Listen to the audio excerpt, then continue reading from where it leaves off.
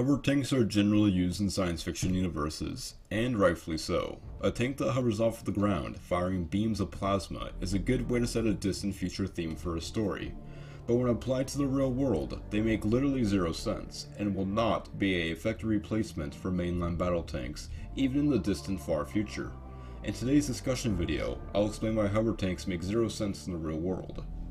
When people talk about hover tanks, their superior speed over modern tanks is brought up quite a bit, and admittedly, these people would probably be correct. A hover tank would almost certainly have a much higher top speed than a tank using treads, but this wouldn't be a good thing.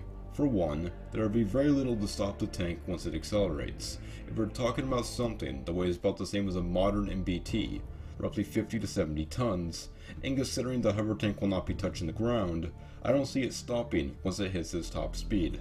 This comes with a plethora of different disadvantages. For one, the weapon would be very unstable and inaccurate, the tank would be prone to crashing into things, and of course, its fuel would run dry very quickly, limiting the amount of time a hover tank could be in combat. Another disadvantage would be the vulnerability of the tank's hovering mechanism. The treads on a tank have always been a vulnerable target of course. You disable the treads, the tank can't move.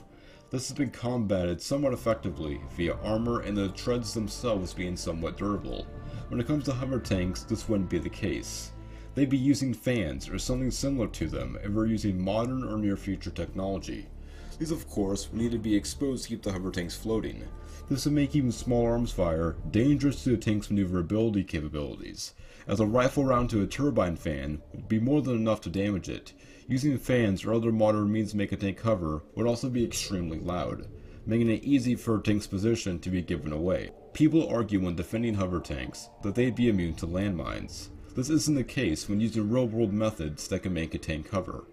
Mines are activated for the most part when enough pressure is applied to them, and I can guarantee you that whatever is making a hover tank float would be exerting more than enough force on the ground to detonate a mine, taking into account that whatever it is, is strong enough to make a 60 ton war machine float.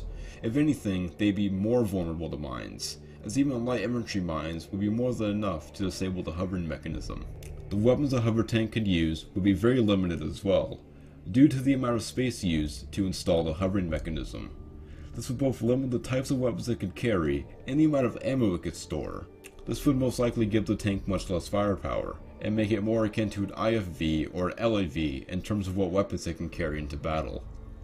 So, the bottom line is, hover tanks are impractical machines that don't work in real life. They're essentially helicopters that can't fly.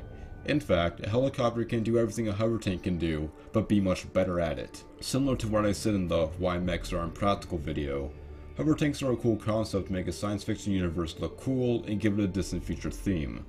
But that's where hover tanks should stay, in fiction. Because like I said in the Mechs video, modern tanks with treads are a proven and superior system to both hover tanks and large mechs. Well that wraps up today's video. Lore videos will be returning shortly, just need to get some ideas on what to cover for them.